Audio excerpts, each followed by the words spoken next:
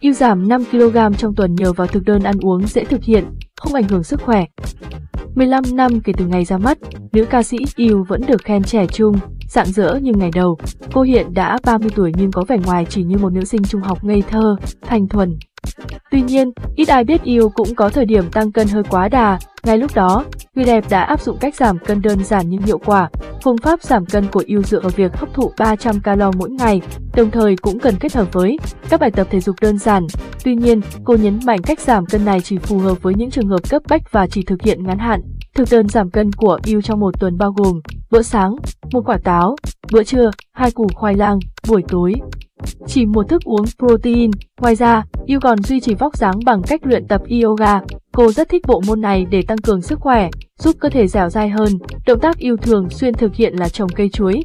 Động tác này tác động vào các cơ cốt lõi như bụng, lưng, đùi. Theo yêu, thường xuyên tập động tác này giúp thể cải thiện chứng đau lưng, vai tròn và lưng gù, thúc đẩy lưu thông máu và cải thiện chứng phù nề, từ đó hỗ trợ hiệu quả cho các vấn đề giảm béo, tiêu mỡ và táo bón. Cô lưu ý người mới bắt đầu không nên thực hiện tại nhà và cần có người có chuyên môn hỗ trợ.